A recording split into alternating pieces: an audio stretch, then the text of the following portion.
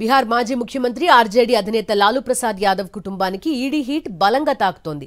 Land for jobs scam కేసులో నిన్న లాలూ తొమ్మిది గంటల పాటు ఈడీ విచారణను ఎదుర్కోగా. తాజాగా ఆయన కుమారుడు బీహార్ మాజీ deputy CM Tejashwi Yadav ED దర్యాప్తుకు హాజరయ్యారు. పట్నాలోని ఈడీ ఆఫీస్కి విచారణకు హాజరయ్యారు తేజస్వి. పెద్ద ఎత్తున ఆర్జేడీ శ్రేణులు తరలి రావడంతో పట్నాలోని ఈడీ కార్యాలయం వద్ద హై టెన్షన్ నెలకొంది. లాలు రైల్వే మంత్రిగా పనిచేసిన సమయంలో రైల్వే ఉద్యోగాల కోసం అభ్యర్థుల నుంచి భూములు రాయించుకున్నారనే ఆరోపణలపై ఈడీ దర్యాప్తు చేస్తోంది ఈ కేసులో నిన్న తొమ్మిది గంటల పాటు లాలుపై ప్రశ్నల వర్షం కురిపించారు దర్యాప్తు అధికారులు తాజాగా తేజస్విని ప్రశ్నిస్తున్నారు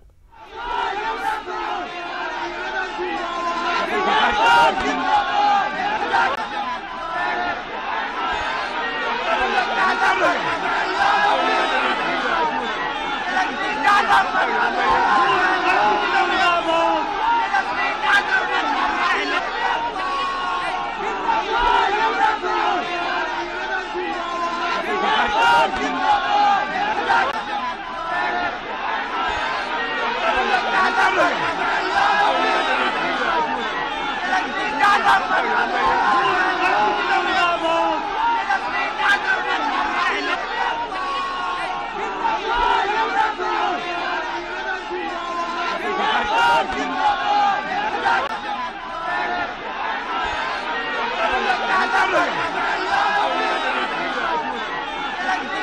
مٿان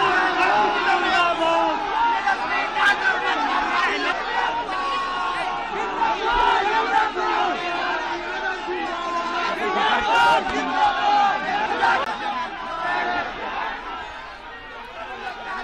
ప్రస్తుతం చూస్తున్నాం మనం. ఈడీ హీట్ ఏ విధంగా తగులుతోంది?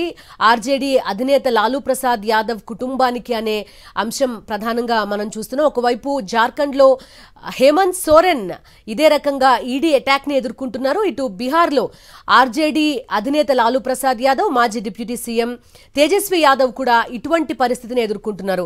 ఈ అటాక్స్కి సంబంధించి పూర్తి డీటెయిల్స్ తెలుసుకుందాం. మా కరెస్పాండెంట్ వెంకటేష్ సిద్ధంగా ఉన్నారు. వెంకటేష్ బీహార్లో పరిస్థితులు చూస్తున్నాం. జార్ఖండ్లో పరిస్థితులు చూస్తున్నాం ఏం జరుగుతోంది? First let's go to Jharkhand. అక్కడ విపక్షాల బలం ఎంత లేకపోతే అధికార పక్షం బలం ఎంత ఎలాంటి వాతావరణం కనబడుతోంది? ఎన్నికలు దగ్గర పడుతున్న కొద్దీ విపక్ష నాయకులపైన ఈడీ దాడులు పెరిగిపోతున్నాయనేటువంటి వాదన బలపడుతోంది. ఒకవైపు నితీష్ కుమార్ ఎన్డీఏ గూటికి చేరిన తర్వాత ఆర్జేడీ అధినేత లాలూ ప్రసాద్ యాదవ్ అలాగే మాజీ డిప్యూటీ సీఎం ఆయన తనయుడు తేజస్వి యాదవ్ను ఇమీడియట్గా ఈడీ నోటీసులు ఇచ్చింది. ఆయనకు సమ్మన్లు జారీ చేసింది. ల్యాండ్ ఫర్ జాబ్ అనేటువంటి స్కామ్లో వారిని ఇప్పటికే నిన్ననే లాలూ ప్రసాద్ యాదవ్ దాదాపు తొమ్మిది గంటల పాటు విచారణ జరిపింది. ఈ రోజు మరోసారి ఆయన తనయుడిని తేజస్వి యాదవ్ని ఈడీ విచారణకు పిలిచింది. సో బీహార్లో ఒకవైపు విపక్ష నాయకులపైన ఈడీ దాడులు కొనసాగుతుండగా ఇటు జార్ఖండ్లో కూడా అదే రకమైనటువంటి పరిస్థితి నెలకొంది. జార్ఖండ్ సీఎం హేమంత్ సోరెన్ దాదాపు ఇరవై మూడు గంటల నుంచి కూడా ఆచూకీ లేకుండా ఉన్నారు. సో ఆ నేపథ్యంలో జార్ఖండ్లో ఒక అనిశ్చిత పరిస్థితి నెలకొంది. అక్కడ ఆయన ట్రైబల్స్ ల్యాండ్స్ లాక్కున్నారు అనేటువంటి ప్రధానమైనటువంటి అభియోగాలు ఉన్నాయి. అలాగే మైనింగ్ విషయంలో కూడా కుంభకోణానికి పాల్పడ్డారు అనేటువంటి అభియోగాలు ఉన్నాయి. సో ఈ అంశాలపైన మనీ లాండరింగ్ జరిగింది కాబట్టి దీనిపైన విచారణకు రావాలని ఈడీ ఆయనకు అనేక సందర్భాల్లో నోటీసులు జారీ చేసినప్పటికీ ఆయన హాజరు కావడం లేదు. సో ఈ నేపథ్యంలో నిన్ననే ఢిల్లీలో ఉన్నటువంటి ఆయన నివాసానికి ఈడీ అధికారులు వెళ్ళినప్పటికీ హేమంత్ సోరెన్ కనబడలేదు. దాంతో ఆయన బిఎండబ్ల్యూ కారును మరికొన్ని వస్తువులను ఈడీ స్వాధీనం చేసుకుంది. అలాగే ఆయన నిన్న ప్రయాణం చేసినటువంటి ప్రత్యేక విమానం కూడా ఢిల్లీలోనే పార్కు చేస్తుంది అనేటువంటి విషయం ఈడీ ఈడీ అధికారులు పసిగట్టారు. సో ఈ నేపథ్యంలో ఆయన తాజాగా హేమంత్ సోరెన్ ఇచ్చినటువంటి సమాచారం రేపు రాంచీలో ఉన్నటువంటి తన నివాసానికి ఈడీ అధికారులకు రావాలని ఆయన ఈమెయిల్ చేసినట్టు తెలిసింది. సో రేపు ఈడీ అధికారులు వస్తే ఈడీ అధికారులు అడిగేటువంటి అన్ని ప్రశ్నలకు తాను సమాధానం చెప్పేందుకు సిద్ధంగా ఉన్నానని హేమంత్ సొరేన్ ఈమెయిల్ పంపారు ఈడీ అధికారులకు. సో ఆ నేపథ్యంలో ఈడీ అధికారులు రేపు ఆయనను విచారించేటువంటి అవకాశం ఉంది. అయితే ఈ మొత్తం కేసులో ఈ ల్యాండ్ అండ్ మైనింగ్ కేసులో పీకల్లోతు జా- జార్ఖండ్ సీఎం హేమంత్ సోరెన్ కూరుకుపోయారు అనేటువంటి ఒక వాదన వినబడుతుంది. ఆ నేపథ్యంలో ఆయన భార్య కల్పన సోరేన్కు ముఖ్యమంత్రి పగ్గాలు ఇచ్చేటువంటి అవకాశం ఉందనేటువంటి ఒక చర్చ జరుగుతోంది. ఆ నేపథ్యంలోనే కాంగ్రెస్ అలాగే జేఎంఎం సంబంధించినటువంటి ఎమ్మెల్యేలు జా- ఆర్జేడీకి సంబంధించిన ఎమ్మెల్యేలందరినీ కూడా రాంచీకి రమ్మని ఆహ్వానం పంపారు. వారందరినీ కూడా రేపు ఉండమని చెప్పారు. సో రేపు ఈడీ గనక ఆయన అరెస్ట్ చేస్తే ఆయన భార్య కల్పన సోరెన్కు సీఎం పగ్గాలు అప్పగించే విధంగా దీనికి సంబంధించినటువంటి వ్యూహరచన చేశారు. సో మొత్తానికి ఈడీ ని ఫేస్ చేసే విషయంలో హేమంత్ సరేన్ అనుసరిస్తున్నటువంటి వైఖరిపైన రాజకీయ విమర్శలు తలెత్తున్నటువంటి పరిస్థితి నేపథ్యంలో రేపు ఈడీ ఏం చేయబోతుంది? ఆయన అరెస్ట్ చేస్తుందా? ఆయన భార్య హేమంత్ సోరెన్ భార్య కల్పన సోరెన్కు పగ్గాలు అప్పగిస్తారనేది మనం వేచి చూడాలి.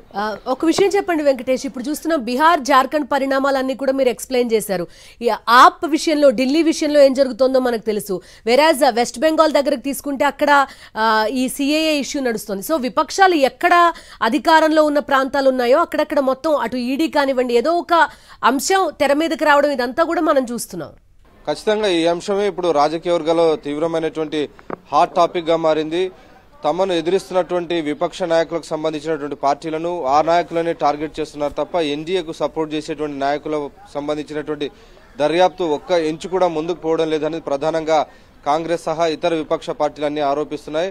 మొన్ననే మహాకూటమి నుంచి బయటకు వచ్చినటువంటి తర్వాత నితీష్ కుమార్తో కలిసి ఉన్నటువంటి ఆర్జేడీ అధినేత పైన లాలూ ప్రసాద్ యాదవ్ ఆయన తనయుని పైన ఈడీ నోటీసులు అందుకున్నారు హేమంత్ సోరెన్ నోటీసులు అందుకున్నారు. అలాగే వెస్ట్ బెంగాల్లో ఇప్పటికే ఆయన అల్లుడైనటువంటి మేనల్లుడైనటువంటి అభిజిత్ బెనర్జీకి కూడా అనేక సందర్భాల్లో ఈడీ నోటీసులు అందినటువంటి పరిస్థితి. సో ఈ పరిస్థితుల నేపథ్యంలోనే ఇండియా కూటమి వీరంతా చెప్తున్నారు. నిన్న మల్లికార్జున ఖర్గే కూడా సంచలన వ్యాఖ్యలు చేశారు. ఈ లోక్సభ ఎన్నికల్లో మోడీకి వస్తే ఓటేస్తే నియంతృత్వం వస్తుందనేటువంటి కామెంట్ కూడా చేసినటువంటి పరిస్థితి. సో మొత్తానికి ఇదైతే పొలిటికల్గా చాలా డిబేటబుల్ పాయింట్గా అయితే కనబడుతోంది. సో జార్ఖండ్ అంశంలో ఇప్పుడు ఆ, బలాబలాలు ఎట్లా ఉన్నాయి? ప్రస్తుతం అధికార పక్షం జేఎంఎం కానీ లేకపోతే విపక్షాలు ఏమన్నా అధికారం కైవసం చేసుకునే నంబర్స్ ఏం చెప్తున్నాయి వెంకటేష్? అంటే ఇది ఇంకా అక్కడి దాకా ఈ పరిణామాలన్నీ కూడా అసెంబ్లీలో గాని బల నిరూపణ గాని ప్రభుత్వం కూలిపోయే వరకు లేదు. ప్రస్తుతానికి హేమంత్ సోరెన్ ఉంటారా? లేకుంటే ఆయన భార్యకు పగ్గాలు అప్పగిస్తారని మనం చూడాలి. ఇప్పటివరకు అయితే ఆర్జేడీ కానీ కాంగ్రెస్ కానీ ఈ ముగ్గురు కలిసి ప్రభుత్వాన్ని ఏర్పాటు చేశారు. సో వీరంతా ముగ్గురు ఇప్పటికీ ఇండియా బ్లాక్లో సభ్యులుగా ఉన్నారు. సో వీరు విచ్ఛిన్నమైనటువంటి పరిస్థితి లేదు. మోడీని ఎదుర్కొనేందుకు తాము ఇండియా కూటమిలో కొనసాగుతామని చెప్తున్నటువంటి నేపథ్యంలో ప్రస్తుతానికైతే ప్రభుత్వం కూలిపోయేటువంటి పరిస్థితులు అయితే లేవు.